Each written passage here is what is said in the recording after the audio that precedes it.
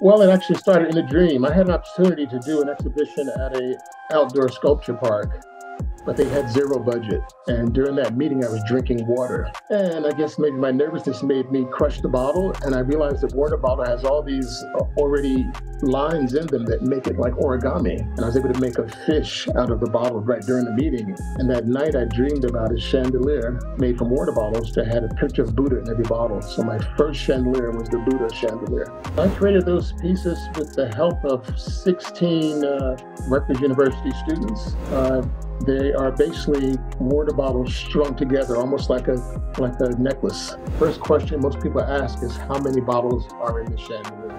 A chandelier made out of 3,000 water bottles is a small part of what's out there in the world today.